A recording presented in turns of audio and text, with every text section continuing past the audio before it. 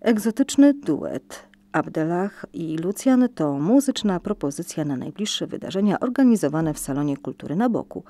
Ten polsko-marokański duet przed bełchatowską publicznością zaprezentuje się 1 grudnia o godzinie 18.